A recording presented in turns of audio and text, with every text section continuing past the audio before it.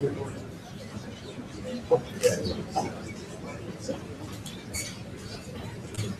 right, thank you. Welcome everyone, good evening. Welcome to Demo Day Class 6 for our sixth group of startups with Incubate. Uh, thanks very much for coming down tonight. Um, we have had a couple of problems with audio, so if it does cut out, just bear with us. Um, but it should be good, we've got the best guys on it. Um, a very special welcome, first and foremost, to our distinguished guests, our sponsors, and our mentors who are here tonight.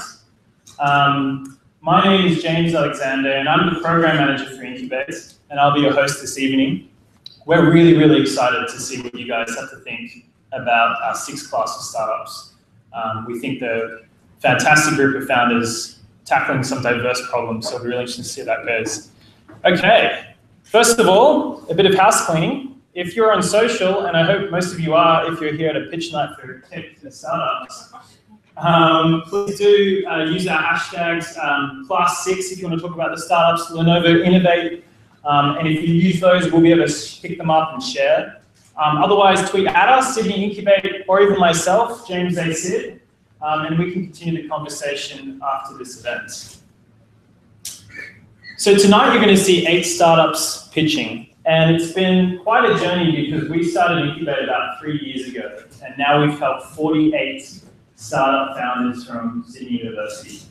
And we call them founders because, as you can see here, we believe that they're founding and building high potential technology companies, and they're doing it um, to build globally, potentially globally, and hopefully competitive products and services. In fact, this one is Advis, who you're seeing pitching later tonight, and that's them building the um, ROV. I got sent that on Saturday night, um, asking what I was doing while they were in the, in the incubate hub.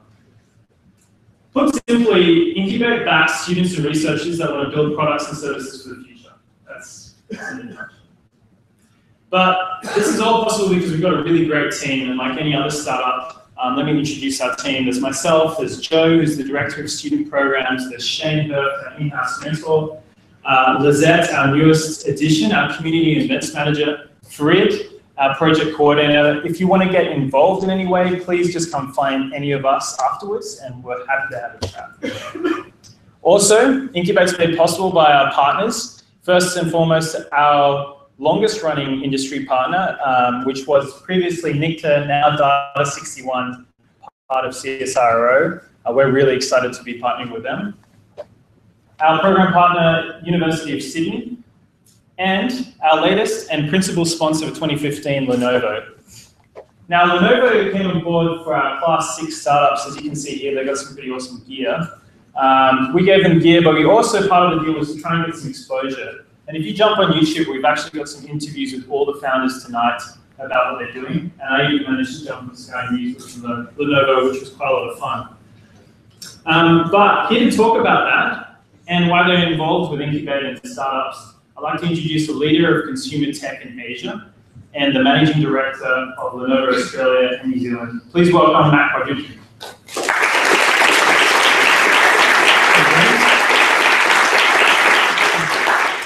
Hello, can you hear me? That sound on? Awesome. Thank you very much, James, and, and thank you very much to the Incubate team. I think it's been a, a great success over the past period, and this year's no exception to that. So I know you guys are coming along tonight. You're here to celebrate and recognise the achievements of the team. So I'm really looking forward to this. Um, I'll tell you that um, for those of you who haven't met Matt Codrington, uh, Lenovo Managing Director, I've been exposed to a lot of entrepreneurial spirit in my time. I've lived in Asia, I've lived in Singapore, I've lived in Hong Kong, I've lived in Japan and Tokyo for the last five years. And for me, this is a very exciting program. I'll tell you that um, you know, in my career, most recently with Incubate, I've seen the best of Australia. I've seen um, things through my work with the Digital Careers uh, Forum. I've seen things through the STEM panels that I'm on. Um, I've seen things through Lenovo itself here. We're doing a lot of stuff. And Lenovo has this mantra, which is never stand still. It's a bit of a marketing tag, I guess, but it really encapsulates, I think, what we're about. We're just not complacent. And it's, you know, these sorts of programs are very important to us to, to drive. Um, I'd say that one of the biggest challenges we have in Australia right now is local talent, fostering local talent, driving innovation locally. We've had the the boom and the, I guess, the slowdown of the resources um, sector. Um, you know, our economy, as we look, you know, two, three, four years out, um, we need to invest. We need to invest in innovation. We all know that. Uh, I think, you know, as an as a, as a as a corporate, we have an obligation to invest in that. We have an obligation to step up and put our money where our mouth is. We have access to resources. We have access to people. We have access to um, you know technology. And for us, I think that's what it's what it's all about in this forum. I think governments have an obligation to this. Uh, most recently, you heard the Innovation Minister Christopher Pyne um, commit to the national uh, what's called National Innovation Agenda. Yeah, and that's all about setting us up, ourselves up for the future. It's about bringing industry and research and universities together for success. So we'll be supporting that. Um, as I look at Lenovo as a company, um, we're probably, I, I, would say we're one of the innovation leaders in the technology sector. Um, we have a rich history and a track record of innovation. If I look at the past couple of years, we have over 100 uh, awards for design and innovation. Uh, this year we'll spend $730 million in research and development. We've got a very rich talent pool of um, designers and developers and engineers and scientists. Um, and really for us, it's about, you know, we've got over 13,000 globally recognized patents. We've got over 5,000 of them based in invention. A lot of them come out of Japan.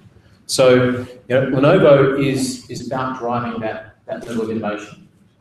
Um, we've been working with the Incubate team, with James, the Incubate team, and, and um, providing, I guess, support in many different ways. One of those ways is um, you've heard tonight with provision of technology.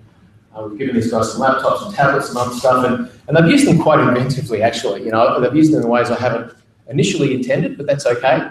Um, some of them use them. We've, we've got a, a, big gaming laptop. They've used that for video editing on the go. They've used that for digital content creation. Tablets around you know, end user verification, end user validation, those sorts of things. So it's been a good investment. And I'm pleased to say that we're, you know, we're committed to the coming year in FY 16, 17 and continuing to support um, Innovate next year. So that's exciting for us. But it's not going to stop there either. Um, we're going to introduce the Lenovo um, Award, Lenovo, what was it? Choice Award. Choice Award, excellent. That's the one thing I had to talk about tonight was Lenovo Choice Award. There it is. Lenovo Choice Award. And this is, is it's about that never stand still spirit. It's about the most creative, the most innovative, um, and probably the most commercially viable opportunity as well that's coming to market. That award is it's about ten thousand, it's over ten thousand dollars worth of hardware product to really take the team on the next steps in their journey. So we'll be awarding that to a team tonight. I'm very excited about tonight. There's a lot of potential in the room. Um, I tell you that, you know, as I look at um, I guess, incubator's role. It's very, very important to bring the education sector close to the business, the outcomes we're looking for. Um, I think you know business needs to step up and be represented as well, and hopefully that's what we're doing. But it's also up to you guys as well. Um, it's about you as a, as a, as a, I guess, as a community, making sure that you're spreading the word to people have the ideas you know, to step into this sort of environment. That's the way we drive innovation. So you guys spreading the word to the business and community leaders, of course. I think we need to step up and do that. Um, but really getting those guys to have the ideas into this sort of um, incubation forum, most important. So with that, I'm very much looking forward to seeing the pictures tonight. I think they're going to be great, and I'll hand over the stage to the stars of the show, the incubation teams. Thank you. Great. Thanks.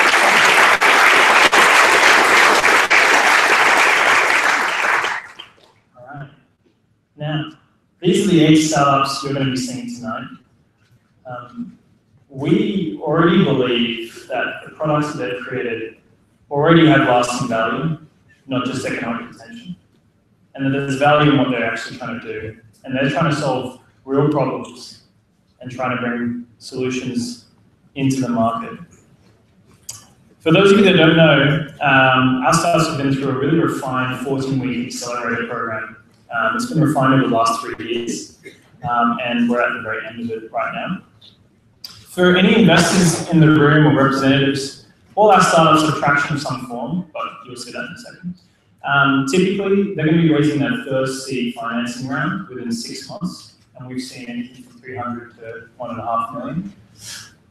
We're looking for experienced founders and early stage investors with industry experience. And we've seen angels invest anywhere personally between 50 to 200,000. Um, so this is the type of angels that we see. And as, as I said before, everyone in this, everyone pitching tonight um, will be raising their first round or have just raised their first round.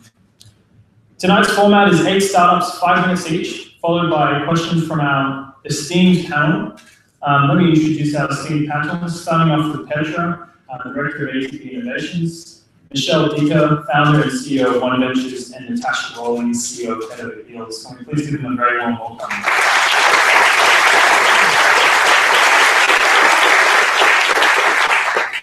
It's great to have um, an all-female panel. I wouldn't usually um, uh, take note of that, but today I've been told on Twitter that it is Ada Lovelace Day. For those of you who don't know Ada Lovelace, you should definitely know her. Um, it's celebrating women in STEM roles.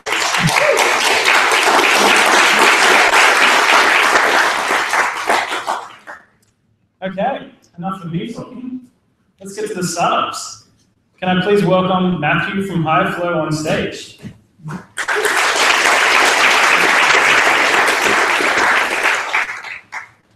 testing, testing. Ah, here we go. Thank you, James. Thank you, Matt, for introducing us tonight. So, ladies and gentlemen, welcome. My name is Matthew. I'm co-founder of HireFlow, and our mission is to bring all of the hiring into one place. And the reason why I'm here speaking about hiring tonight is because we all know it's incredibly painful. And we've all experienced it, whether we're being on the hiring side or we're the ones being hired. When I was going through customer interviews and discussing this problem with hiring managers, one of them told us that he received so many applications that he only looks at the first 20 and throws out the rest. Think about that for a second. That's over 80, 100 applications, 80 over 100 applicants who are not having their application looked at. And that really shows the problem in the market today. We're optimizing for quality or we're optimizing for time, never both. And we can see this reflected in the market. In Australia, HR spending is 11.1 billion Australian dollars. Globally, it's 619 billion dollars, US dollars. And yet, and yet, we still see this average turnover of employees, roughly around 15%, which is significant considering how much is being spent on this problem. There's been significant uptake of technologies in order to try and remediate this, and we've seen some best-in-class solutions spring up. The issue is that they're not appealing to the key players in the market, the applicant, or the HR manager, or the companies themselves. They only appeal to one of the three. Worse yet, though data is incredibly siloed, meaning that data migration and hence the friction between is incredibly hard to do. So this is where HireFlow comes in. We strongly believe that in order to encourage more employers to use these best-in-class technologies, and in order to improve the hiring process, we want to integrate all these services into one platform. That way, employers can pick and choose the exact technologies they want to use, and that way they can better screen, better interview, and better hire, thereby solving this issue of optimizing for either time or quality. So an example might be if you're hiring for a developer and don't know how to hire for a developer, you don't have any coding experience, just plug in HackerRank and it'll screen the applicants so that you know that the people you're interviewing have those developer skills. The results have been significant. Based on HireFlow's usage, many of our partner companies have been able to reduce their process by one less interview. Using industry standard figures, that's a $10,000 saving per hire. Going back, back to that 15% employee turnover, that's $150,000 saved per year. And that's really exciting.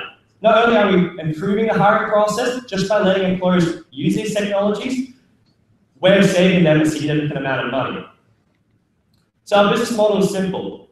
We know that small businesses don't hire all the time. So we offer them a free applicant tracking system, as well as access to our other in-house technologies such as screening, video interviewing, and what I'm really excited about, is reverse video interviewing. Please come see me at the booth afterwards if you want to hear more about that. And we take a 10% clip on any integration, such as posting a Seek, posting to HackerRank that they choose to do. Medium-sized businesses, 10 jobs, $200 a month, and as they grow larger and hire more regularly, we have a large, unlimited application, $600 a month. We launched three weeks ago, which is huge. Means that people can already access and use the HireFlow system. And we've seen such strong uptake of our beta platform, which is really exciting and really shows how much there is a need for this free uh, integrated platform in the market. Our traction has been significant. We've seen 14 companies take up the system, with two based in the United States, 22 jobs created, and 900 applications processed with some significant hirings resulting. So our ask is simple. Today, we're asking for $250,000 being spent on salaries, development, marketing, and sales. And we feel that with this money entrusted to us, we can really transform the hiring market. By December, we hope to finish these core integrations, and then having raised that 250,000 by February, really transform the industry by reaching out to 500 companies using HireFlow. And our team is hugely well equipped to meet this demand. We have a broad range of experience in our own team, as well as from our advisors, Joel, Mike, and Ash, whom we thank profusely for their help throughout this program. So to finish on tonight, we are not recruiters. We want to aid your existing hiring workflow. And we want to help you, if you're in a position where you're hiring, how to teach you and help you save $150,000 per year. Thank you.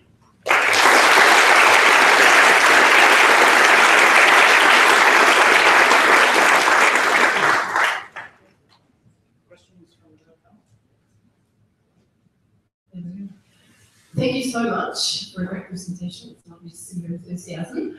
Um, I'm particularly impressed with how you've been able to form these partnerships with major employment platforms. That's fantastic and very significant. I think that's a huge achievement that you've been able to, to do throughout this program. Now, can you take me through the process? If I'm a hiring manager and I post a job Yes. on Seek, Yes. how do you screen that? How, how do you screen the job applications automatically and how do you save me time? Just take me through the process. Absolutely. quite clear. Thank you. Um, great question, Petra. So the way it works, say you're hiring for a developer and you want to screen applicants that you know that they have the development skills that you require. The way it works with HireFlow is you create the job and post it to relevant job boards with your job description, say Seek and Indeed. And anyone who applies to Seek and Indeed, those applicants can get pulled back into HireFlow. Say I want to integrate HackerRank in order to automate the screening process, all I have to do then is click on HackerRank during the job creation process, and then all applicants who are pulled in from either Seek or Indeed are automatically invited to a HackerRank test. Those who pass that test then get sent to a list on the applicant tracking system HireFlow, where you can then review their resume and covering letter. Fantastic, thank you. Thank you, Petra. So um, I agree. I think you've done an amazing job in such a short space of time. So Thank well you, done. Michelle. Um, I, I was interested in the um, process around using these third-party services and integrating them, Mhm. and whether you've had to seek approval for that, whether there's any intellectual property issues um, in that process, and then the partnerships you've got with the likes of Seek, how deep are those partnerships? Is it just that you're using existing links, or are you really integrated into platforms? That's a really good question, Michelle. So we we pride ourselves in having partnerships that run deeper than just integrating their publicly facing APIs. So a good example I'd like to state is Workable, a local another local startup aiming to make job hiring more social. And we've personally spoken with them and have access to some of their more private uh, systems and services. And the flip side is that the reason why our partners are so excited to be working with us is because we're driving more traffic and enabling companies who wouldn't otherwise choose to say use Workable with HackerRank using HireFlow, they can now use both services, which for our partners is really exciting, which is why we've been able to build such strong relationships and continue to build such strong relationships with each other. Great, thanks so much for that. Um, so twenty-two jobs in three weeks, awesome job. Thank you. Um, um, so, I mean, in terms of the money you're raising, um, what percentage is going to sales and marketing and how are you going to use that to jet propel, you know, getting companies to use your platform? Great question. I think that the, the hardest part when it comes to a startup is awareness. And that's why if we were to raise $250,000, a good three quarters of it would go towards sales and marketing. Because often the issue isn't simply that companies don't have the problem and aren't, they're seeking solutions and aren't aware of the ones that already exist. And that's why we strongly believe that having a strong sales and marketing team, which this funding would go very much towards, would enable us to raise this awareness, particularly in the small to medium business space in which we're targeting. One last question from me. You went for the subscription model Yes. over potentially a success fee model. Um, was there a reason for choosing that model? Have you tested the market and So the business model, the small, medium, large model, is based off three things. First off, we want to be able to have this affiliate model with those of our partners. That way, even with the free package, we're still generating some level of revenue. The second part is the pricing itself, which is a bit of a black art, to be honest. But the reason why we picked those prices is because those prices conform to what the market is charging. Examples being our uh, uh, uh, workable. And we feel that if we charge similar prices, our customers understand where these prices are coming from, but we're offering them so much more value than what the current entrants in the market currently charge. Okay. Thanks very much. Thank you.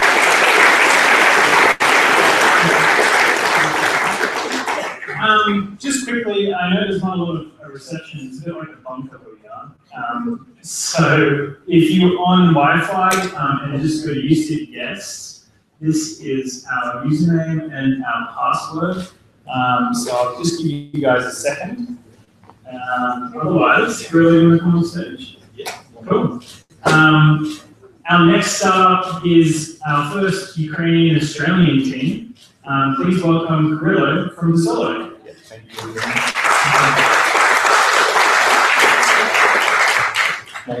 Yeah. My name is Kirilo, and I'm co-founder of Persolo. Persolo, one link to get paid. Easier, faster, and smarter. Selling online and getting paid is always complicated. Creating and maintaining your website takes thousands of dollars. Besides, there is no elegant tool to sell on social networks. We already achieved 80 active sellers, and let me introduce the two of them, Tanya and Paul. Tanya is a jeweler. She designs and manufactures her own jewelry. Typically, she would redirect customers to her own website, where they need to go through different checks before making a payment. It always prevents to buy them emotionally. Besides, Tanya can't sell on social networks. Paul is a freelancer running his photo studio in CBD. Quite often, he can't bill his clients for a logotype or a photograph. Besides, he hates when he needs to share his personal bank details with random people. Paul can't monetize his blog. Therefore, we came up to a solution. The idea of Persolo was sparked by our wish to solve all payments complications. You just need to follow two easy steps. Step one, create a URL to a product that captures payment information. And then step two, share this URL cross-platform. Facebook, Twitter, SMS, doesn't matter. We entered a very competitive market, but at the same time, we offer a niche service that solves a specific problem in a simple way. We position ourselves in between classic payment solutions and store builders. We are not only providing customers to get paid, but offer them an elegant tool to get rich faster. And we hope this demo shows our competitive advantage. Well, Persolo is easy. Just upload a photograph of any product, add title, description. No technical skills required. Add price and you're done. Persolo is flexible. Share cross-platform on any device, Facebook, Twitter, SMS, doesn't matter. And Persolo is smart. Imagine your buyers can buy emotionally just browsing your social media. At the moment, 60% of Persolo transactions are coming from boutique stores. The size of the market is $76 million. At the same time, 30% of transactions are coming from freelance services, and the size of the market is $51 billion. However, keep in mind that it's our niche markets where we organically grew up. Total worldwide online transactions is 2.5 trillion. Do you see a potential? It's huge. We already achieved almost 100 active sellers and 3,000 in total transaction value, but we just started in September. Persolo is a worldwide business. Only 30% of our performance is coming from Australia. And our revenue model is quite simple. We charge small transaction fee or subscription fee across several plans. Two months ago, we have a basic preview version and an idea. And now we have a fully working service, scalable customer base, and invigorating thoughts about the future.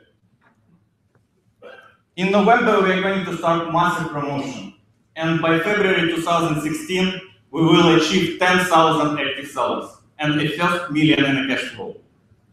We could do it much more effective and efficient if we find funding today. We are Australian-Ukrainian team, as James mentioned. We are experts in analytics, design, marketing, and development. And we hope to empower global, globally social media sellers. And we couldn't achieve this without constant support of our advisory board. One more time, thank you, Margaret, Martin, Natasha, Hank, Hisham, and Paul for your invaluable support during Incubate project. Well, interesting slide, right? we are looking to raise 250k for a 12 months runaway. 50% will go into marketing, 25% into product and design development, and another 25% in strategic partnership and sellers acquisition. And as I mentioned, Persolo is smart.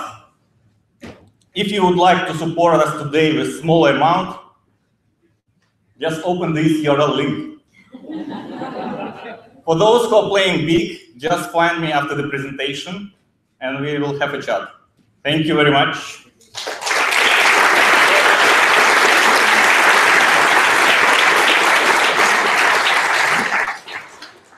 And before we jump into questions, let me introduce another co-founder, our beautiful co-founder of the team, Olga.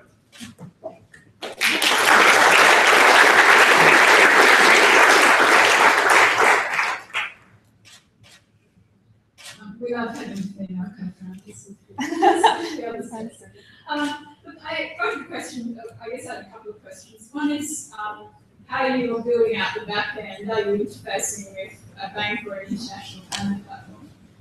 And my second question is the cost per customer acquisition. Have you got that number worked out yet? So you know if you spend 125,000 on marketing, um, how many customers you're going to in that process? Understandable. Thank you very much for the question. Uh, let's start with the backend. Uh, currently, we are using Stripe as a backend. Uh, we already established quite good relationship with them and received a 50k commission-free period from Stripe because we met accidentally the CEO of Stripe on some meeting. Uh, regarding uh, cost of acquisition, currently all our clients are organically grown, so we found them organically. Uh, we already tried a few paid campaigns, and on average, the cost of a seller's acquisition is about $10. But we're going to introduce two interesting marketing techniques to escalate this process. First of all, it will be a referral scheme. And second, at uh, this, it will be paid uh, activities in social medias.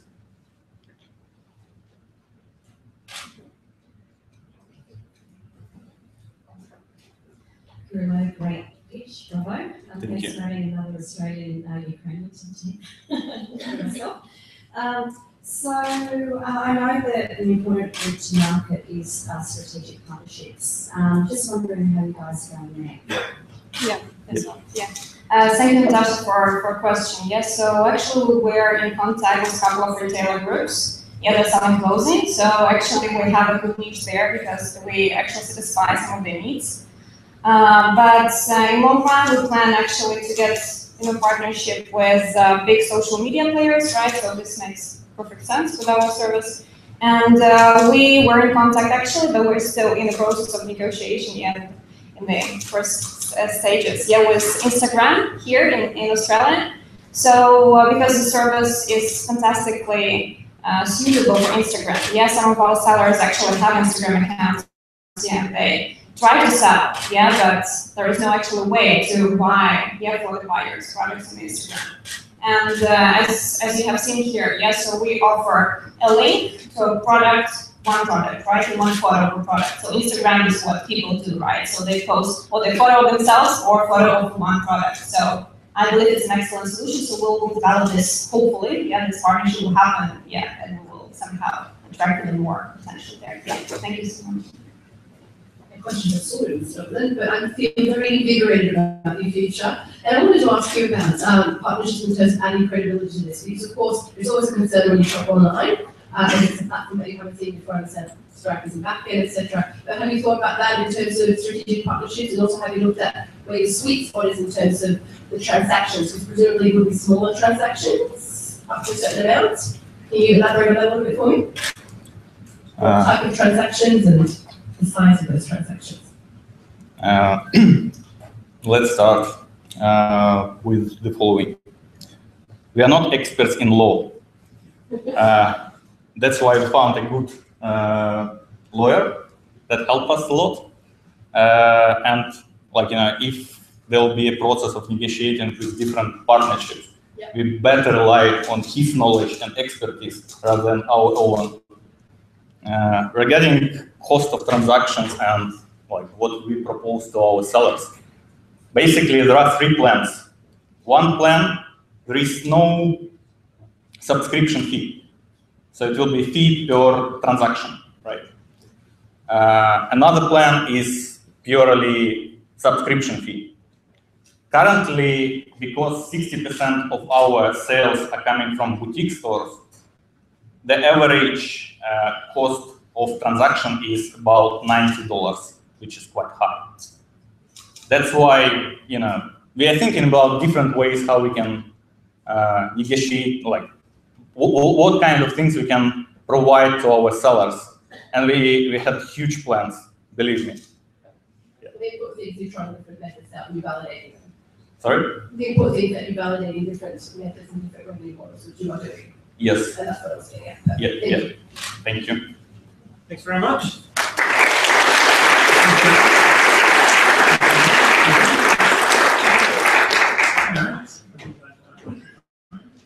Um, just another shout out, if you want to use the hashtags, we'll pick you up, we're quite people tweeting, my phone is going off. And also, this is the username and password if you want to access our wireless accounts. Okay, on to our third startup. Can we please invite Joe from Panabox? Please welcome Joe.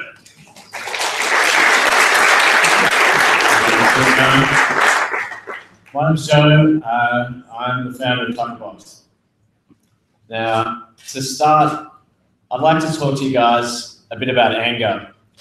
I mean, anger normally is a force for bad, but I believe in the right circumstance, anger can be a force for good. Something that I'm angry about in particular is the fact that each year, around $8 billion worth of perfectly edible food gets chucked out in Australia. I'm also angry about the fact that restaurants in Australia have no other option when they make too much food and they don't have enough time to sell it. They have no other option but to chuck it in the bin. And this ends up in landfill. And this isn't good because this stuff decomposes. And when it decomposes, it releases huge amounts of methane. And this methane, I mean, this methane is not very good either. Methane is a very noxious greenhouse gas. It's 25 times more dangerous uh, than carbon dioxide for our atmosphere. So this isn't a people problem. This isn't a food problem. This is simply a logistics problem. The food system is broken, so how are we going to fix it? With a mobile app that sells perishable food to last minute consumers at a discount. This is Tuckerbox. This is the way we're going to reframe food wastage as not just a problem, but an opportunity.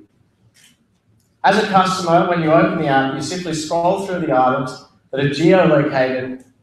They're the only, they're only, it's only going to show you items that are close by, and you simply tap twice to purchase. Now, this is something worth noting because this, in the mobile ordering industry, this is actually unheard of. You could use Tuckerbox to buy a meal for a couple of dollars, and you would normally pay eight or ten dollars from a restaurant that you go to all the time. You could use it for uh, a, a, late night work dinner to share with colleagues that you don't want to break the bank with. You, a budget driven student could use this to, to stock up on cheap food and put it in the freezer and then take it out one day at a time and really go on the cheap. As a restaurant, it's really easy to use. All you have to do is you take a picture of the item that you want to sell, you name your price, and you set a time limit, and off you go. So obviously we think Tuckerbox is pretty good, but what does everyone else think? So far we have 2,000 customers on a waiting list ready to use the product. We have 70 participating restaurants, and we have a passionate community that emails me every couple of days wanting to know the latest developments. So how big is this opportunity? Let's, let's consider that an average restaurant or cafe throws out around, and let's say, for example, sandwiches, the same the argument, five sandwiches a day. And let's say that these sandwiches are worth $8 each. Let's consider the fact that in Australia we have 50,000 restaurants and cafes. That'll lead us to have a market cap, uh, total addressable market of around $730 million.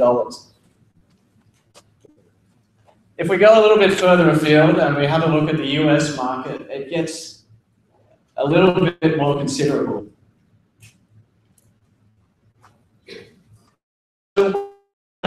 At the moment, we have a fully working prototype um, and in December, we're going to launch, uh, uh, launch this prototype to our registered users. By June 2016, we are projected to have 500 uh, restaurants uh, using the app and 200,000 customers. My name's Joe Greathead. I'm an award-winning advertising creative. My, why not? No.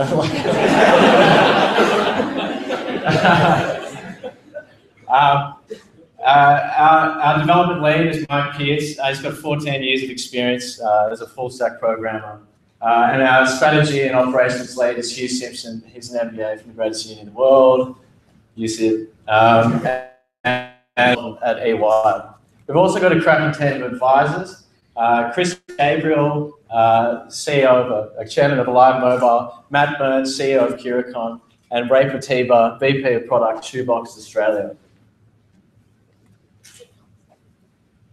Food wastage or food loss is a huge financial and ecological problem, but it's also a huge opportunity. As we grow to a global audience, a global uh, population of 9 billion people, that's crazy, right? But that's going to happen apparently. We're going to be facing a whole raft of unique problems and these problems are starting to represent the key growth industries of our time. Products and services in elder care, renewable energy, and water management are growing exponentially. And food loss, and by extension, food security, is no less as important and significant as any of these issues.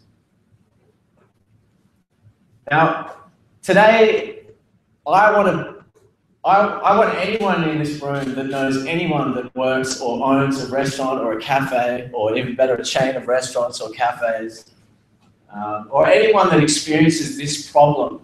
I want to meet those people, um, and I'm not, I'm not shy of asking for that. Um, if you want to support us right now, please go to the website here, just up on the slide. Uh, you can register your email and we'll send you a link when we're launching to the, to the general public. Um, and also, if you're as passionate about food waste as, as I am, um, please come and talk to me at the Tuckerbox booth after the presentation. Love to chat. Thanks for listening.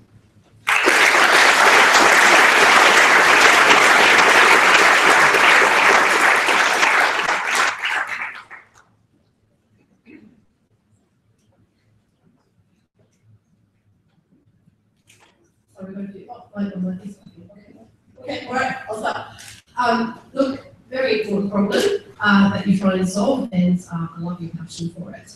Um, Lost Harvest has started to have these pop-up restaurants, I see, for food, waste, et cetera. Have you spoken to them at all? Yeah, yeah. So uh, one of the mentors here, um, uh, Hank Kingman, is a board member, and uh, we've uh, had a dialogue about uh, the sort of interrelation of the two organisations. Excellent, I don't see you as a competitor, I can see some very clear synergies between. Yeah, well, uh, completely different business models, obviously, um, but um, we're both trying to solve a similar problem. Um, Speaking about business model, are you a non-for-profit? How are you going to turn this into a sustainable business? How are you making money? No, we're, we're, we're a for-profit company, and um, I'm, I'm very unflinching about that. I don't really see that it, being a problem, uh, being a social entrepreneur and uh, having it mutually exclusive, the being, want, wanting to go after profit as opposed to uh, wanting to do a social good. I don't see them as being having to be mu- mutually So exclusive. how are you going to make money?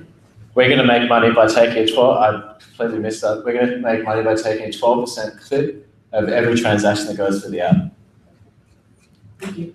No um, yeah, good presentation, obviously, like, um, the fact that you're doing a greater good as part of your mission. Just wondering if you took somebody like a Menulog or one of the other bigger players that signed up a lot of the market, um, would it be hard for them to implement a type of box solution? Yes, it would actually, and this is this is actually a software thing. Um, so the way that the way the Tuckerbox is built, uh, it's we mean, this is this might sound a little bit confusing, but each item is individually is an individual set of data. So and, and each item is is entered individually into the system. The way that Menulog and Delivery Hero work is they uh, take on the entire menu of of that of, of whatever organisation it is at the beginning, uh, and then they're completely hands off for the for the rest of their working arrangement. So it's complete for them to implement something like this. It would be a complete overhaul of their entire software uh, uh, from from from top to bottom. So I I mean there is a there they could do it, but it's a significant barrier and. Um, Yes, it's sort of like the last minute. Yeah, so another way of looking at it is hotels tonight for food, if anyone's aware of hotels tonight. Yeah. So, so do we know who owns Tuckerbox.com? Which we don't have to brand. Uh, I don't have enough money to even consider, you know, engaging that person, but it's not me. I'll, I'll, I'll say that.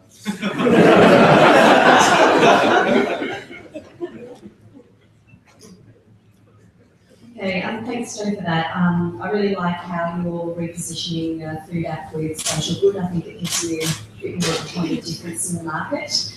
Um, in terms of the two-sided market problem, in terms of um, the restaurant customers, how are you going about signing those up and then how are you going to replicate that? Is it, have you just been doing around Sydney Uni or, or you know, what? So right now it's going to, uh, it, it operates uh, very effectively just with a person, with a person-to-person sales process. Um, we have a hit rate of around about seventy percent. Um, it's just, it's just kind of a no-brainer really. Um, and the way that we can set up the program is that they can engage with it as little or as much as they like. They can set up, restaurants generally put their food on special uh, at the same time every day. So we can key that in.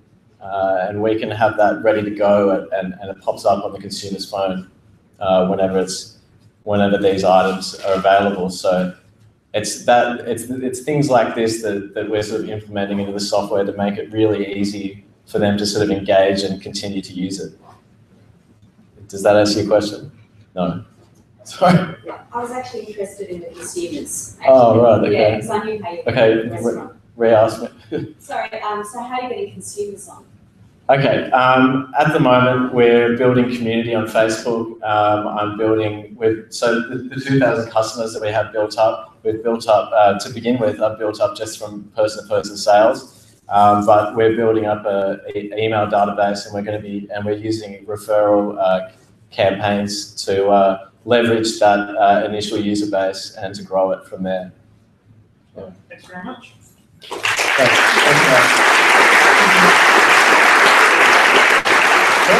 All right, we're now halfway through. Can I please invite our youngest by, by no means smallest team, Fluid Education, on stage? Please welcome Fluid.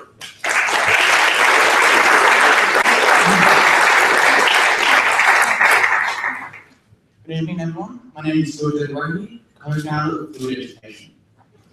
When I was in year 11, my school built a custom diary that theoretically allowed us to look at our timetable for the week, upcoming classes, upcoming events in the college calendar, and do some basic homework tracking. Emphasis on the word theoretically, because in reality, it was terrible. It didn't do much. The things it did do, it did them poorly, and sometimes it just didn't work at all. So my co-founder and I, like all good programmers do, built our own app. It was native, it was nimble, it was sleek, and it worked. The student body loved it, and the school principal was so impressed with our work that he wanted to license software from us on a yearly basis. Mind you, we were only 16 and 17 at the time. Ultimately, the success of this app was in that it was built for students by students. And that's the current problem that lies at the heart of educational technology. Right now, if you're a school, you could go out and buy any number of apps or services that, that say they, um, that say they However, these apps are being built for school administrators to use them. As a student, all is what is coming up next. But to do this, she has taken take a photo of her paper timetable and made it the wallpaper of her phone. She doesn't want to deal with the hassle of downloading an app and manually inputting every single class and managing it when things inevitably change. As a teacher and year group coordinator, John is constantly inundated with paperwork and calls from distressed parents. He doesn't want to be doing tedious admin work. He wants to be focusing on teaching maths. And as a parent, Jo wants her children to succeed at school, but she cannot track their progress all year round. Instead, relying on semesterly reports that come only twice a year. When she asks her children how they're going to school, of course they're going to inflate their marks and not give the entire details. That's where our app comes in. Backpack is a web and mobile app that collates learning management, resources, homework management, reporting, communication, and more into a single unified experience. Backpack is highly specialized and targets the specific problems that exist in each of these custom segments. For students just like Maria, they can see their class timetable, due dates for upcoming work, and more from the convenience of a mobile app within wherever they are. For teachers like John, they can manage paperwork electronically and automatically push out updates to parents. And for parents like Joe, they can keep up to date with their child's progress all throughout the school year, not just twice when the reports come out. Currently, we have two customers, my alma mater, St. Aloysius College, and St. Ignatius College Riverview. At St. Aloysius College, Backpack is being used on a regular basis by 62.5% of people, which is over 35% more than the educational technology that it replaced. And this number is on an iPad alone, and will only continue to grow with the introduction of iPhone and Android apps later this year. As mentioned, we already have two customers, and we're in discussions with eight more schools by the end of 2015, including Xavier College, uh, Riverside Girls High School, and the King's School. Our business model is very simple, $10 per student enrolled per year. For the schools that are undecided, we offer a free 30-day, no obligation trial. This product requires no integration on our end or the school's end, so they are free to just plug and play. In Australia, there are 9,000 schools, and it represents a market, uh, it represents a market potential of $70 billion. With even just a 5% penetration of 400 to 500 schools, we can generate $5 million in annual revenue. And the edutech market globally has been growing nine, uh, 9% over the past five years and now currently sits over 200 billion US dollars, which is massive. By December, we'll be finishing our parent and teacher apps as well as our free product trial. As mentioned, we're in discussion with eight schools to have 10 by the end of 2015, and by the end of 2016, we'll have a minimum of 30 schools on board. And these 30 schools are going to generate for us between 200 to 250,000 dollars in revenue for the year starting in 2017. Fluid Education is a two-person team. My co-founder Declan Scott manages our technical direction and leads development on Android and the web. I manage our business development as well as our product strategy, sales, and marketing. We're also lucky enough to have looking after us through every step of the startup.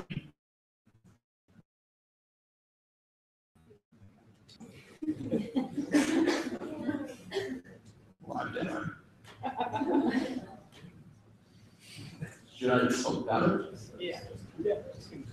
Okay, so there's only one more slide was the ask. So tonight, all we're asking for are introductions to schools, edutech companies, and anyone else in the edutech space. Please see us at the booths, or you can email myself. Or you can Giorgio, which is G-I-O-R, G-I-O, at fluideducation.com.au. Thank you.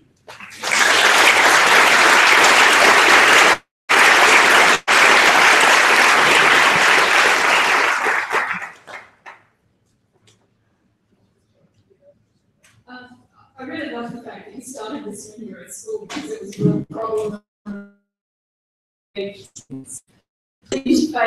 with the school's administration systems if you're going to report on things like assessments and what's going on. So you actually have to do an integration.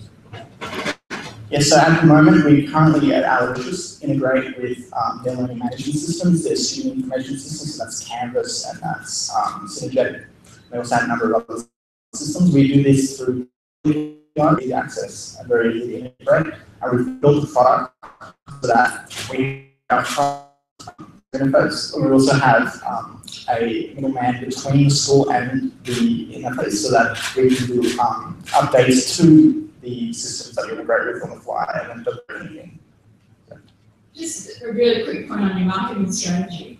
You're clearly getting some buy-in with the Catholic schools. Go straight to the Catholic education system and you can do deals at that level instead of doing deal by deal with schools. So to get, to increase your uptake faster of this sort of Yeah. product, I think that'd be really worthwhile. Yes, so we have been looking at, um, so, uh, people like the Archbishop of the Diocese of Parramatta who, um, look after footy schools, for example, then you, um, get someone then They will use the same learning management system.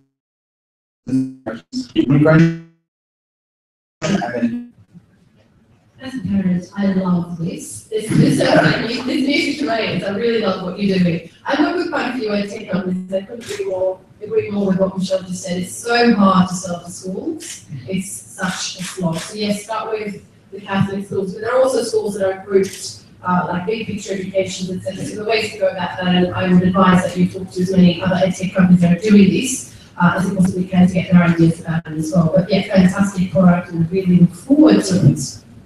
Thank you. Um, yeah, so concur with uh, these guys here. There's also um, Catholic school conferences that you can pitch at, and exhibitions and stuff like that, and, and similar for other verticals. Um, have you thought about schools cooking the ticket as a um, fundraising exercise? Sorry, what was that?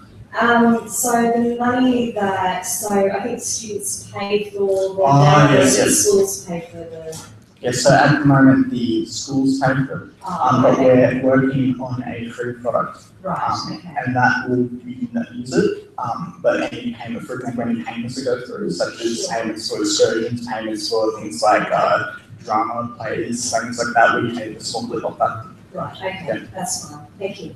Thank you. Thank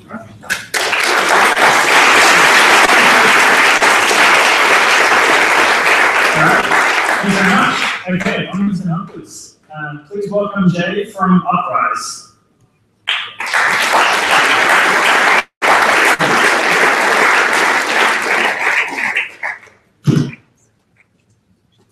Hi. I wish I was doing a API integration to get PowerPoint working at conferences. Plug your mic in. Okay.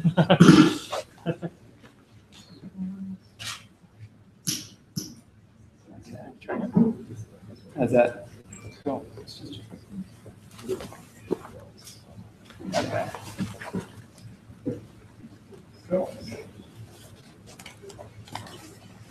That's all right, I've got some sound issues.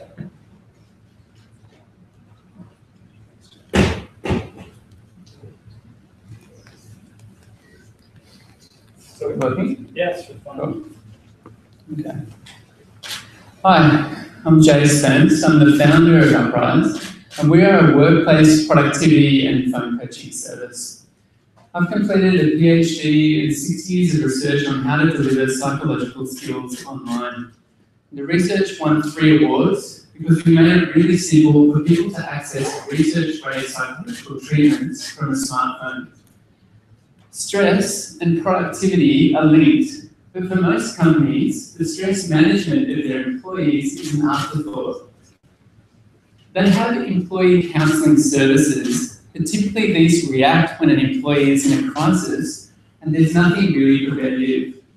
So if you have an employee who's really struggling, then typically they're going to call a company counselling hotline. Only it isn't really a hotline because they'll be told that they'll get an appointment next week. Then they have to get to the appointment. Therapy takes a lot of time. A lot of the a lot of these employees actually won't go through with it at all because of the confidentiality concerns. And their chance to be a good therapist is pretty low because the services pay far below the industry average. But the thing that really stops employees from getting help is that they downplay how stressed they are and they just keep working. So most most employees will deny they have a problem until they've got a problem on every level. Then they're in a GP's office and the GP's telling them that they're going to need to take a month off work. So why is this happening? It's happening because there's so many barriers to getting support that it will block for about 90% of employees from even trying. So Uprise is a preventative mental health solution. And it's preventative in the sense that it's working on reducing stress and the other factors that create burnout in employees. The way we do this is we deliver psychological skills as videos and we back that up with a phone coaching service.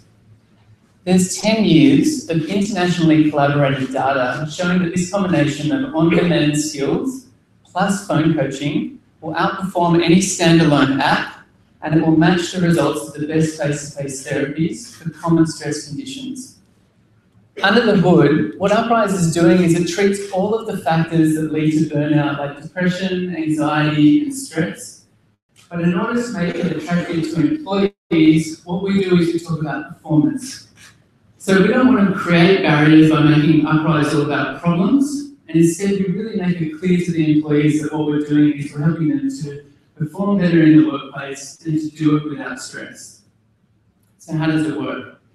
First, employees log on, log on and they complete a quick test to measure their productivity levels. Then they watch a short video that's based on, on proven skills to reduce stress and deal with this, the factors that lead to burnout. They choose a time for a, one of our psychologists to give them a call, and they get a coaching call to tailor the skills in the course to their individual situation so it makes sense to them. And here are some of the results from our last trial that was run over three weeks in an uncontrolled format. We found that over the three week period, the number of unproductive hours in the day was halved, and the time that they were taking off work was also halved. And we got a whole bunch of testimonials like these ones. In fact, one out of six participants in the trial ended up referring a friend or a family member without us even asking. Uprise costs the same as a one day training and less than it would cost that employee to go into the counselling service. And we have data that shows that the results will last for six to 12 months. The size of the Australian workforce is 11.8 million, and that represents a local market of $5.9 billion. Our first paying customer is Lendlease, and we're really excited to get started with them next month. Plus, we have three other companies who are interested in doing a pilot trial with us to talk about a feasibility for a wider rollout. We also have a large multinational software company who's really interested with capacity to scale us globally if we get onto a winning formula. We've got a growing team of designers, developers, psychologists, and advisors, but we really need your help as well. Before you go, I'd be really appreciative if you could write an email to your HR director or your HR manager and CC me in. Let them know that you've seen a product that would probably work in your in your workspace. And I would really hope that there's an opportunity here for you to help somebody. If you think about your office even if you think about your own stress levels, there's probably someone around who's really under pressure at the moment. And in three weeks, I'd be hoping that we can get the same type of testimonials that you saw before that's really the type of change that we're trying to bring into every workplace. So thanks for your help with it, and thanks for listening.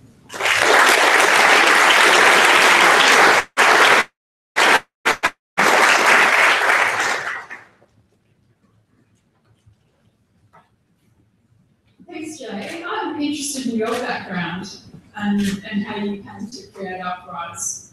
I lost a bet. so I was um, was working in a research clinic and I had a colleague who was very cocky, who was doing internet treatments at the time. He told me he treated 10 times the number of patients that I could treat in a month. I took him on. He was using internet treatments. He wiped the floor with me. And it was pretty easy to see all of the, the leverage that you can get out of technology to treat people faster. So I think most psychologists get into a treatment because they want to be able to help as many people as possible. And it was really clear what you could do with, at, at then, what was a really clunky treatment program, and still we're getting 40 people better per month. So that's what it, what's what started. Um, and if you take somebody like a Lendlease with 7,000 staff, would they only be referring in people that they sort of deem to be at risk, or is it something they would open up to allowing their staff access to? And so what do you think the value of that customer could be to your organisation? Yeah, I think there are 15,000 employees within Lendlease, and the way that we're going about it is in stages. So we've got a small team at the moment. We only have capacity to manage a certain amount. We want to do that really well, and we want to make sure that we can give a confidential and safe service and be managing every single person there that goes well. But Lendlease is really interested in expanding at each level, and we've got a plan to go through different sectors of the company, as long as everything is going to be hitting all of the right treatment outcomes for them love what you do, Jay. I think it's amazing. I see a lot of people with different health apps making various claims, but you have evidence, it's research based, and that's what I really like about it.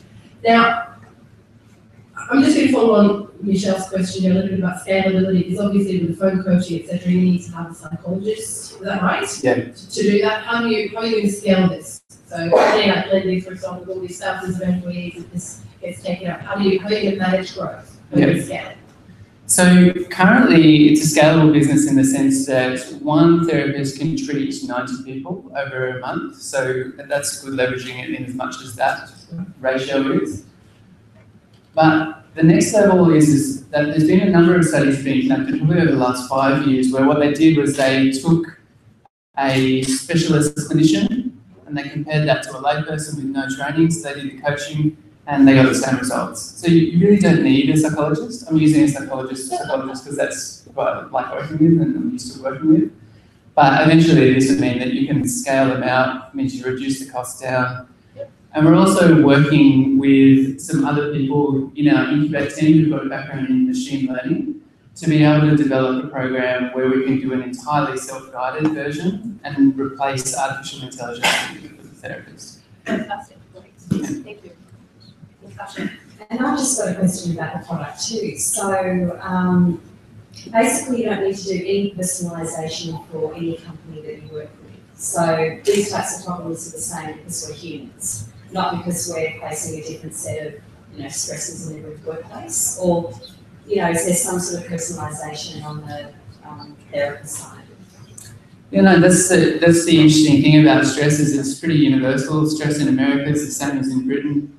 Um, the way that it works really is in psychology, it's called a transdiagnostic process. So it's, it's like, what are the factors that you can treat to make sure that people improve? So we've developed like a universal protocol to treat all of the common conditions con- together. And we've got evidence to say that that will be able to deal with the majority of issues in the workplace. And we have protocols set up so that we can filter out those people who aren't going to benefit from our service and we refer them into the employee assistance providers or community psychologists. Thanks very much, Joe.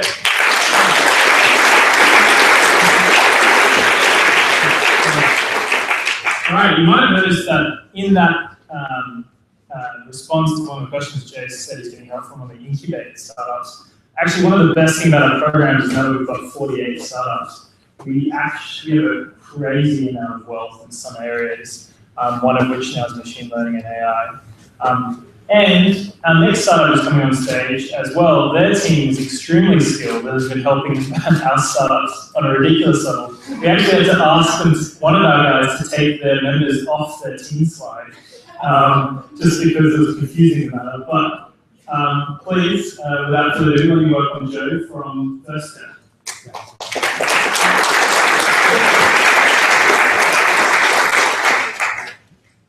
So hi, I'm Joe from Step, and we're here to make investing effortless. Let me start by telling you a story about a man who died in his 90s with less than $10,000 to his name.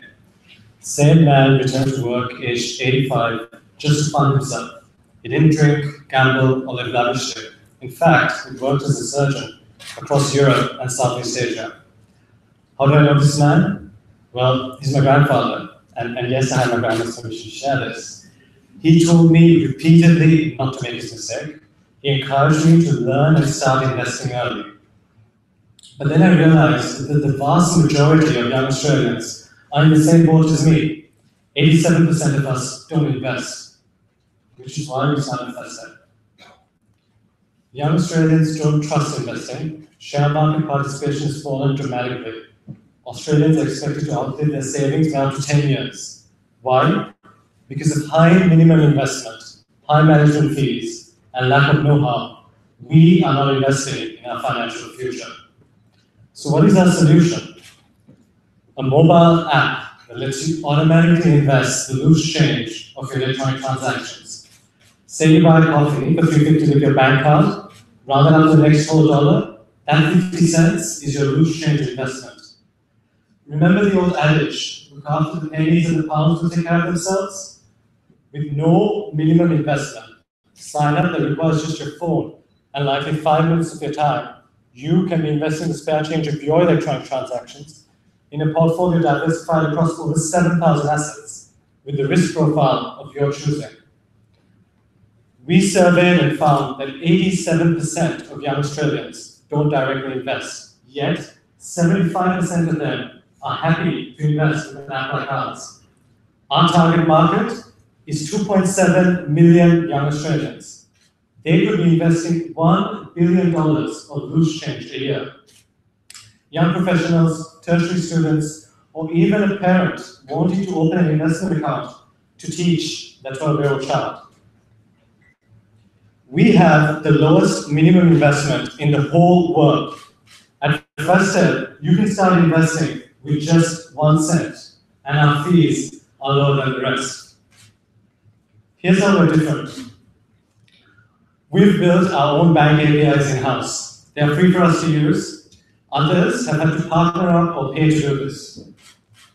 We don't pay a clearance fee on share transactions. We built a robo-trader that requires zero human, uh, human intervention. We're Australian, uh, and we know the local, local market unlike the foreign apps.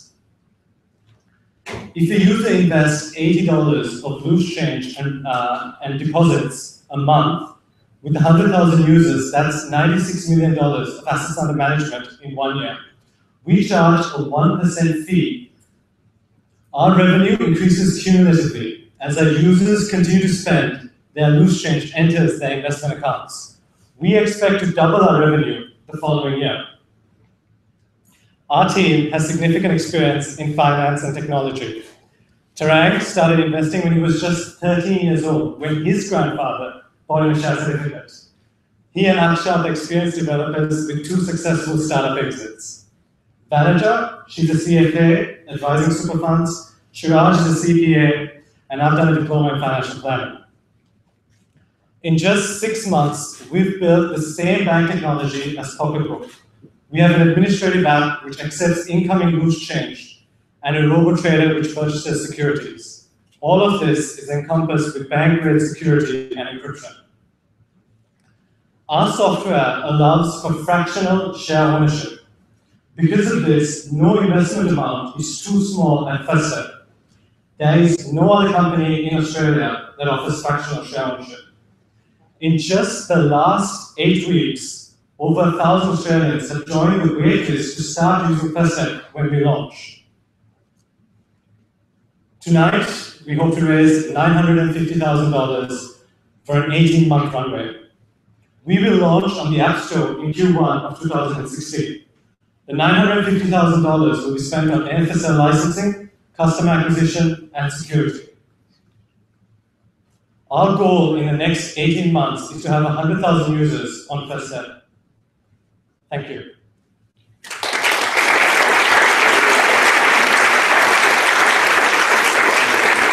I'd like to invite my co-founder Shiraj and Tarang on stage.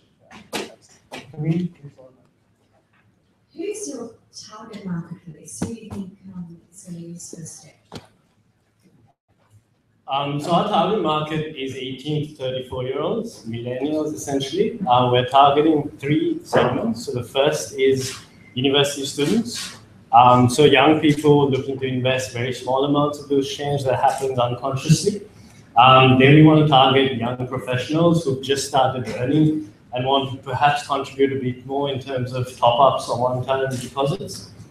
And finally, a very interesting thing happened where we had a parent call in saying they'd like to start an investment portfolio for their eight-year-old girl.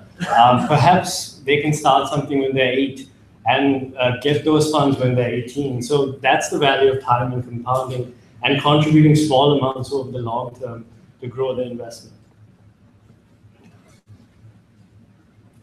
I'm interested in um, Robo Trader. What's the, have you got a track record with this? And, you know, how are you evaluating, you know, so I'm an investor, I'm gonna, you know, I need to take my loose change. How do you, how do I know that you're gonna deliver me maybe, you know, at least on market or above market performance? Are you using straight exchange traded platform?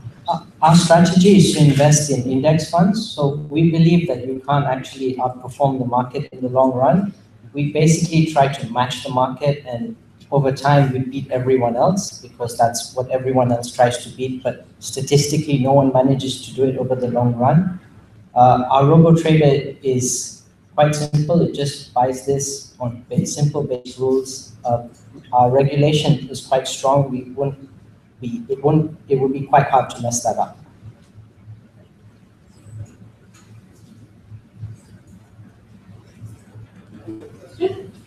I can speak really loud too.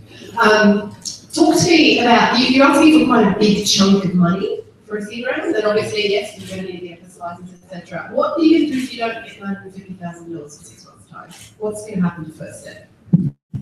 Uh, so I guess um, we're a financial service startup operating in an existing regulatory environment.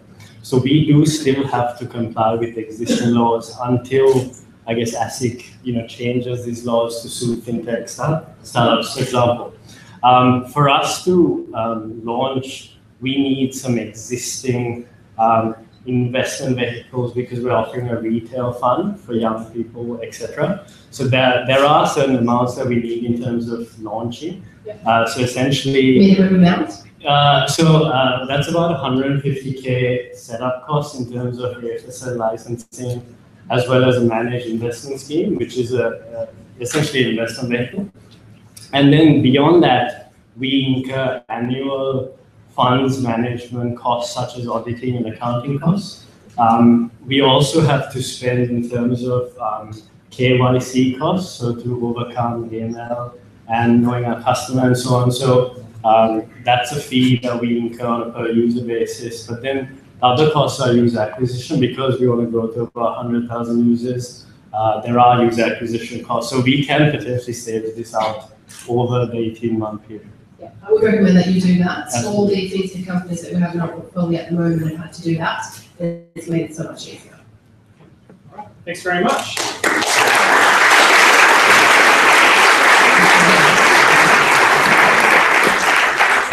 Okay, two more startups, and then we'll hit the drinks, uh, and then the prize, and then we'll hit the drinks. But please, uh, let me invite Masood from Abyss.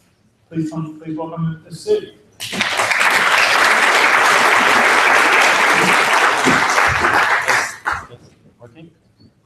Uh, hi everyone, uh, my name is Masood Naqshbandi and I'm the co-founder of Abyss Solutions, an autonomous inspection and analytics company.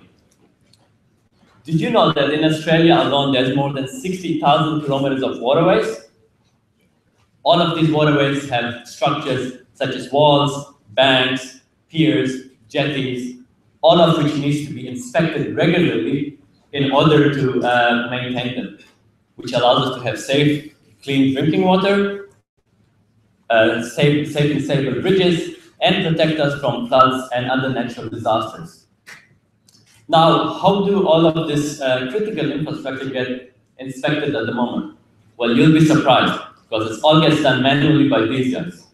And of course, this is very costly, it's unsafe, and you cannot cover all the areas because of the way it's done.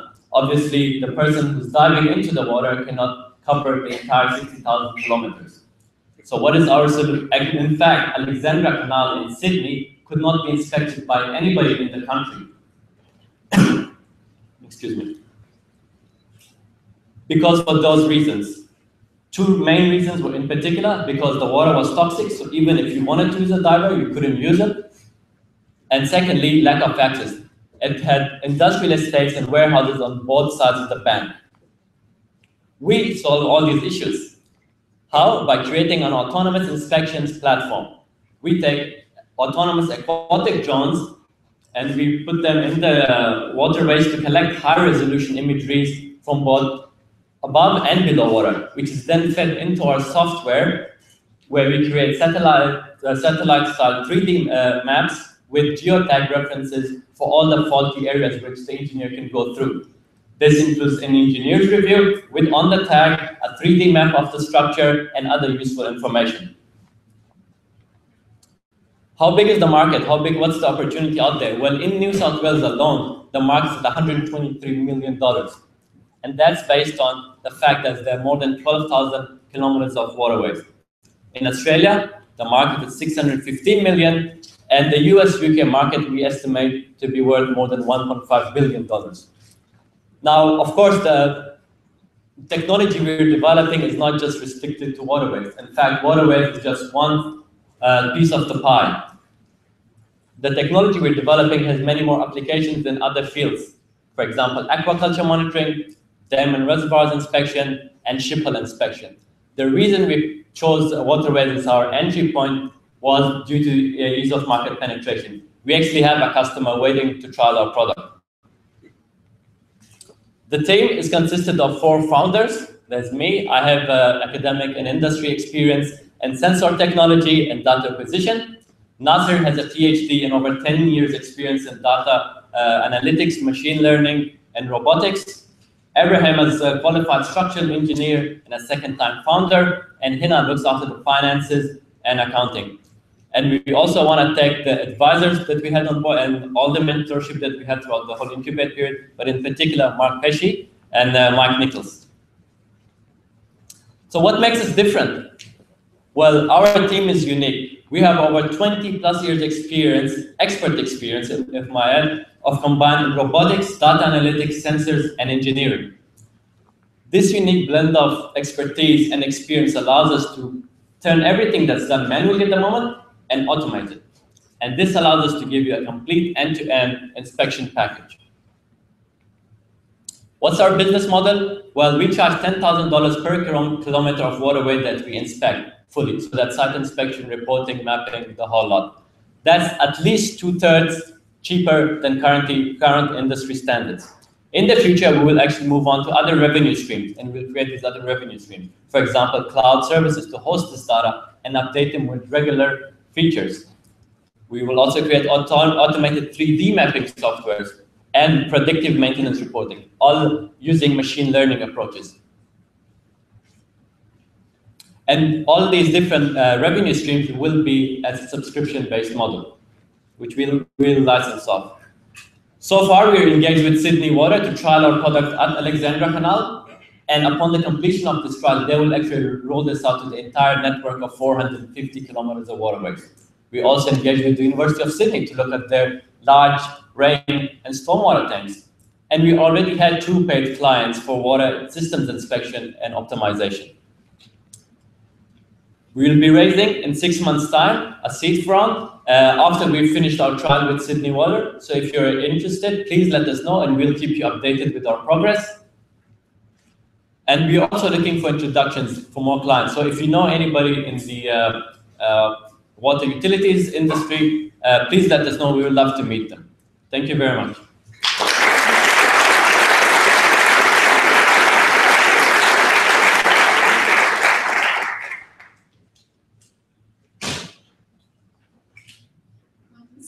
So well done in the creation of your robot and, and getting it out and actually being used by customers. That's you know, really terrific. I'm interested in the intellectual property protection around the product and your service, um, and so how you can make that unique. Uh, so at, at, at, the moment, we're using off-the-shelf product and combining them in a unique way. But uh, as we develop our product further and further, we'll actually use machine, machine-based learning approaches to automate the whole system. So in terms of that, so the IP is, as you question, like how, where are we creating the IP? So the IP is basically in our team as well. So as I said, we have 20 years plus experience in machine learning. Like you cannot go and get a team like us on the street or anywhere else. That's a highly qualified team. So that's the IP that we have in our company. That's the most valued asset. And using that, we can create different kinds of IP. So for example, we will use the machine learning approaches for predictive failure eh, prediction. So that's a big uh, market that will uh, that's no one else is doing at the moment, which we want to move into. So how else would you say that it's not more the hardware or the software?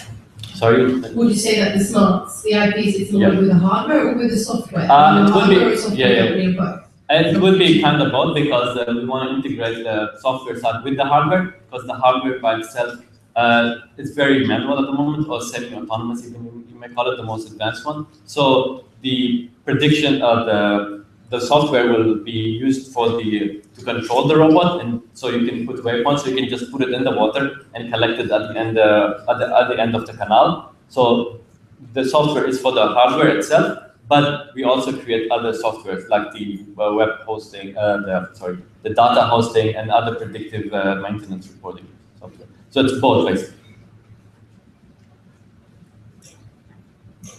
A great picture and clear. Thank you. Um, the five ninety K, what are you hoping that will, um, like, where will that get you to? Mm. So the money we uh, will uh, looking to raise, uh, that will be to hire engineers to uh, really accelerate our development process because this is a very technical challenge and we need to get like the best people on board to do this uh, to help us accelerate this. Uh, we can do it organically with our current team, but that's going to take a long time. So with the money, the most of it would be actually spent on uh, hiring more engineers and software people. Thanks very much. right, thank you.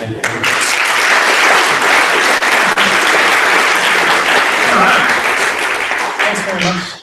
And now to invite our last startup on stage for tonight. Uh, please welcome Alex from Forever Network. Alex.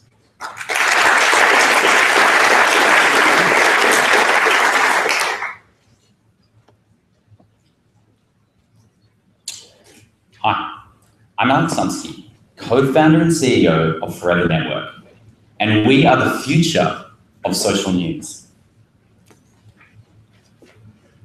So what is it exactly that's taken me from developing sports content as a 16-year-old to building a brand that generates 69 million social monthly impressions? Well, countless research studies have shown time and time again, our millennial generation do not go searching for news and lifestyle content. Our generation will not be rushed home for the 6 p.m. bulletin. Rather, we'll read the headlines on the way home and watch the video highlights later on in the evening. Why? We want the convenience of having content in the palm of our hands when and where we want it. And we want the quality that comes from having our social networks filter that content for us. There remains only one news lifestyle topic where social is not the major source, and that's sports. Why is it that sports, one of the few topics that can garner such passion, the one topic that is inherently social and shareable, is still not predominantly consumed on social sources? This is the question we set out to address when we started Forever Network. Being young, teenage sport fans ourselves, we wanted to start by creating content we liked and launched our first sports vertical through social media, Basketball Forever. We wanted to create the best visual experience for our audience. We wanted everything from captivating video content of key moments that could be watched again and again. We wanted rapid response merchandise for breaking news and viral plays. We wanted graphic novels for team rivalries leading up to the playoffs. We made sure news of a great play didn't just travel from one end of the globe to the other. We made sure it began trends on Twitter, viral videos on YouTube, incredibly popular posts on Facebook, turning any ordinary news update into an online sensation within minutes. Not only is this style of content able to easily communicate the passion and energy sports creates, it's also perfectly optimized for social media and easily monetized through creative advertising, relevant endorsements, uh, uh, product and merchandise sales, and content subscriptions. Basketball Forever has all of our articles, breaking news, uh, editorials, graphics, and engaging video. And Posterizers, the outlet we created for all of our high-end downloadable content, has things such as our wallpapers and our digital magazine. During the program, we were able to successfully launch the first issue of our digital magazine, featuring uh, an exclusive interview with our cover athlete, Harrison Barnes. In the first month, we had 45,000 reads, over 7,000 digital downloads, and an average user read time of 33 minutes. So what sets us apart is the way we are able to parallel the cultural tone and passion of our target audience to genuinely connect and engage on a level unattainable by others. We combine this with our unique visual style so that we're creating content that's different and making sure it's delivered differently. We've had some of our content featured in very reputable um, uh, sports outlets such as Sports Illustrated, ESPN, and even the NBA. We're even lucky enough to have our own original design up in Mark Cuban's office. For those of you up the back who don't have binoculars, uh, that's the design. During the program, it only made sense for us to develop a platform that allowed our fans to experience all this in one place. Our Basketball Forever web and mobile platform will allow users to enjoy all of our social content as well as native content on the site, streaming into a beautiful feed of rich social sporting news. They'll be able to create their own profile, share, save, and interact with content they like, as well as upload their own thoughts, opinions, and content of their own in order to, to increase their influence score. Um, in order, yeah, to, in order to increase their influence score. So what we're doing is we're, uh, we're actually combining our winning strategy of social content delivery with user-generated content uh, in, in order to, uh, in order, I'm losing my train of thought. In order to, I'm, I'm just so caught up with how like is. I myself sometimes. No, um, no, uh, we do this uh, in order to give a voice to just your average sport fan. And we're not just planning on doing this for basketball. Uh, we want to build a vertical for as many different sports as possible.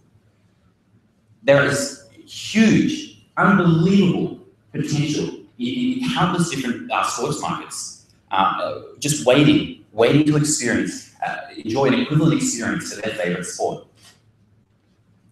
None of this, of course, would be possible without our incredible team. Jaden Harris, our co-founder and, and head of operations, Ishad Mistra, uh, our creative director and technical developer, Tyson Beck, our chief content officer, Aaron Smith, our NBA correspondent, and Landon Marino, our lead digital journalist. We're also very grateful to have our, um, our, a team of advisors that we connected through, uh, connected to through Incubate. What we are looking for are writers, graphic designers, video producers, artists, music producers, and journalists with a passion for sports to help us continue to unlock the inner enthusiasts inside every casual sports fan. Thank you.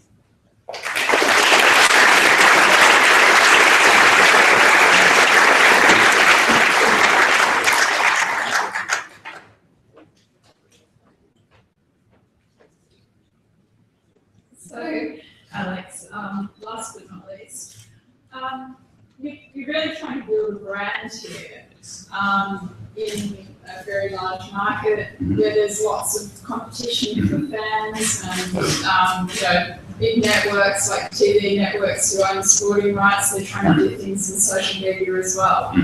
And you see yourself being able to acquire those customers and then keep them engaged because you know you might get seven thousand downloads. That's a really great start. How are you going to keep them doing their 33 minutes or growing it to you know 60 minutes? So um, we've actually been lucky enough. When we started uh, building this brand, it was uh, on a very, very small scale about four years ago. Um, and uh, it really only turned into uh, something a lot bigger last year. And when I joined the program, that's when it sort of at its peak. Um, we've, we've just seen consistent growth for the past four years. Uh, we almost tripled our impressions from, from last NBA finals uh, compared to this NBA finals. So uh, we, we, we continue to uh, grow our team. Uh, our content creation gets better. Um, we, we uh, get better designers. Uh, we're building relationships with um, ESPN and obviously the NBA, so we've been able to you know, use the content ourselves. Uh, and because of that, you know, we've been able to grow our audience, and a lot of them have been coming over uh, to us, which is why the NBA you know, contact a lot of our designers um, and, and ask them to do design work for them. Um, we're keeping that all in-house though, so that they can just keep coming to us. Can I ask, um, I've heard whispers through the Western community about basketball programs. I understand you're doing something right, uh, you've done a great job with that. I was a bit surprised when I first saw Forever Network, hadn't heard of that. Yep. Um, so you're obviously not here to ask for money tonight, you're here to ask for contacts. So in terms of the timeline for how you're going to then, Mhm. what is the, you talked about cricket, you talked about soccer, which sport are you going to tap next so that we know what sort of contacts we can provide you with next? What does that look like? So over the next nine months, we obviously want to, um, we have betas ready to be released for the season. Uh, we would like to spend some time just fine tuning everything and making sure we get this vertical 100% right. Um, and then after that, we're looking to break into soccer. Um, that's the next one. That's like obviously the biggest market. We have a few contacts there already. Uh, and a lot of our designers and content creators um, have done like, some work uh, for the World Cup. So because of that, uh, we think that's going to be the easiest one to penetrate next. That's fantastic. I think this. Uh, well done, Alex. Um, sorry, your last speech of the night, I totally know how that feels, and I just missed how you make money. Yep. so, could you just tell me again, because I, Totally. I, was, I was caught up in content too. Yeah, so um, we have a few different revenue streams. So uh, first of all, and I, I touched on them briefly, but I didn't focus on it. But um, what we what we're able to do is uh, number one, advertising is huge. So uh, the fact that we can we can we can bring people back uh, constantly to, to view our content um, is obviously valuable to advertisers, and uh, you know, that translates to revenue very easily and endorsements as well with players. Um, they're ha- happy to represent our brand. We've, you know, we've got some some great contacts and it's things we're looking to roll out next year. Um, and in addition to that, we develop, we, we, we uh, build our own um, online store with, with our, our, social merchandise, which is rapid response. So breaking news um, comes out or, or new trade, we've already got the design ready. We've already got it on the shirt. It's originally created, so it's owned by us. We're able to sell that. Um, and that's something that gets people very excited, especially the scarcity, because we're going to do like 2,000 of them. Uh, and also, we, we've run that once before. It sold out within two weeks. We made $35,000 in that time. So for us, those are like the biggest revenue streams. And obviously, we're looking for ways to monetize our magazine uh, and, and, things such as that. Okay.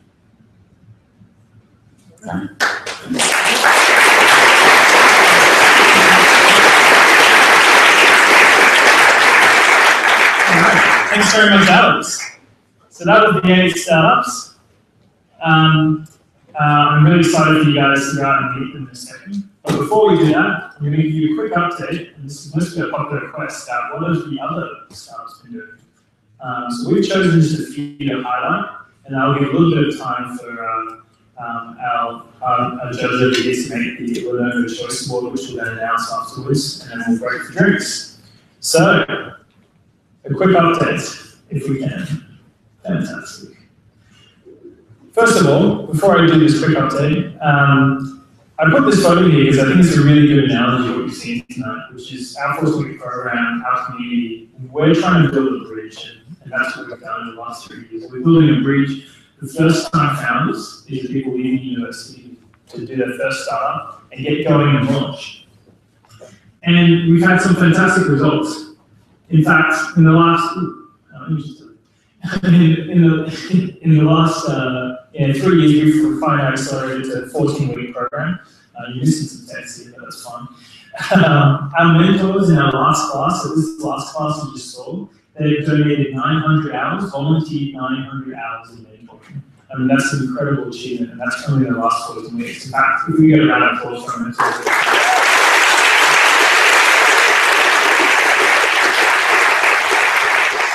since last 70 days, so that's only about six months ago, our startups had actually raised, that's just increased, I just talked about, um, over $2 million.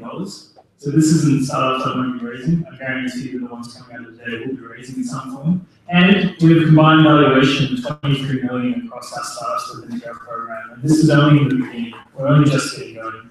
So yeah, that's fantastic for us. just quickly, the updates. Uh, Zakuri, if you don't know them, they're our invisible sunglasses. That's a couple of them up there. They've closed their second round of financing, just under a million dollars. They've got some fantastic advisors, and they're on track. to reach their first air uh, by Christmas this year.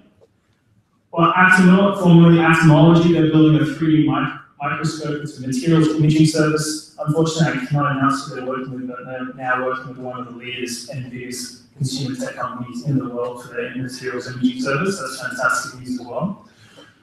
Trimp Industries from, I think, class two or class three, so a couple of years ago, they've just closed their first round of financing. It's also our biggest seed round ever, it's over a million dollars, it's fantastic. And that's to boost their tissue regeneration technology, which we're really excited about. And Promise or Pay recently just won the Optus Innovation Social Pledging Competition. That's a social pledging platform as well, which is fantastic. A couple of movements from our founders. Jeremy of Vista recently launched his second startup, Better Wealth. You can check that out. Nicholas from Medici is now into his second startup, director of Canton Line, a fast-growing fashion company, so we already heard of. Emily from Q is about to launch her second startup, Huey, a mental health company. Yahesh from Eurofur Jobs is onto his second startup, Head of Talent at Canva.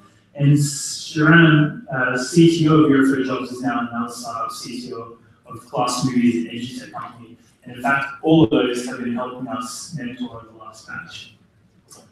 A big kudos to our mentors. Uh, there's too many of them to put on this slide, so I've just put a few. In particular, I'd like to say a big thank you for the continued support from Matt Byrne, Rick Baker, Chris Beardle, Petra, Alfred, and Hank. um, our board members for class six, as well as our advisory network. And please get one more round of applause. Uh, sure.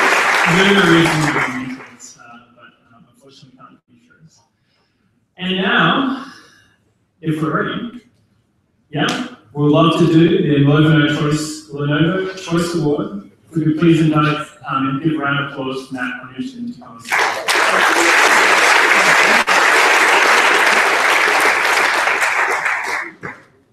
Thank you very, very much. Wow, a lot of highly capable and creative minds there. I've actually interviewed my team quickly I don't have any choice, so you know, it's much, much harder than I thought. Um, thank you very much to the judges, some great questions there and made it much, much harder for me. I'm going to give the award to the youngest team tonight. They invested in some real pain points. They've got the customer at the centre of their solution. Um, very scalable, and I'm going to wish them the best of luck for education.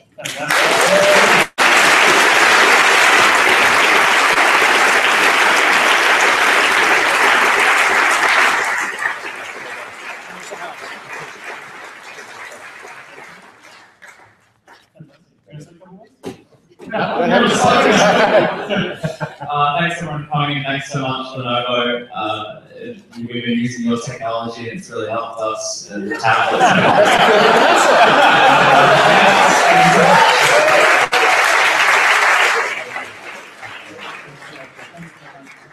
That was not scripted, I promise. but thanks very much. It's been really great having um, such a young team in the space. In fact, uh, one of the coolest things about our accelerator is that we have on average the youngest um, co-founders in any accelerator program know of is 23. That's not to say that, you know, um, I'm not against um, the founders, not at all.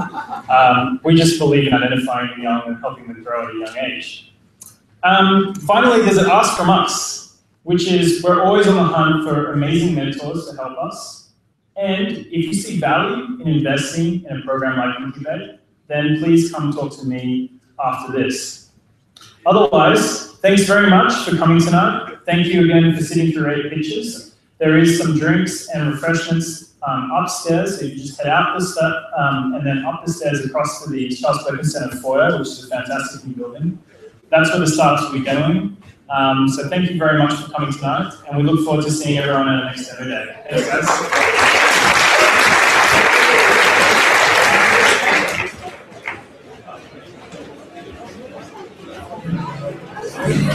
ど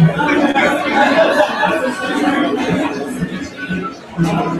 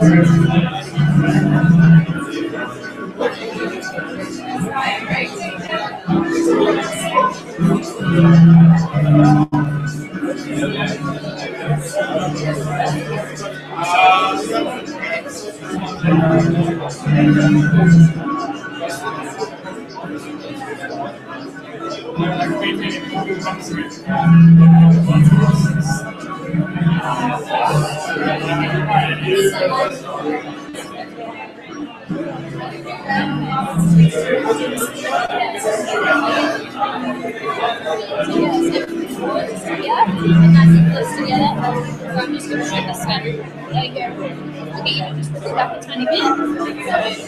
There we go. That's it. I'm getting it nice close. There we go. And yeah, beautiful. That's great.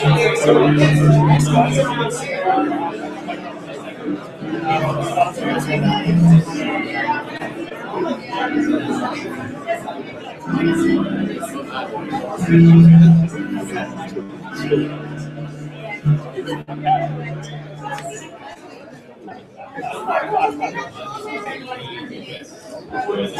that's right, with smart stories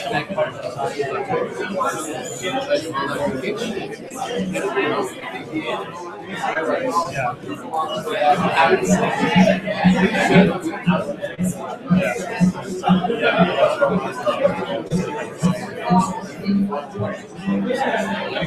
James, can you get the brown? So part of this is Hey guys, start up. Can you just come quickly to the photos? And we gotta go to the.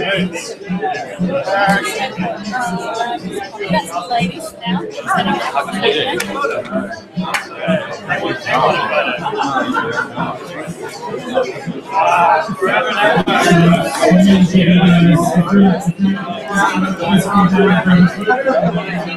I got feel like I'll smile once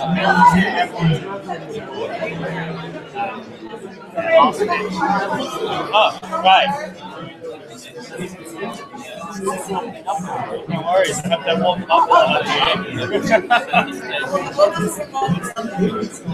Sorry, I'm using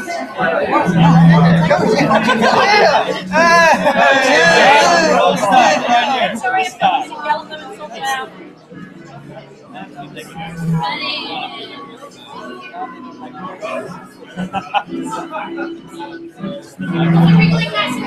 sure I can see your face. To see your whole face. Okay, get this guy.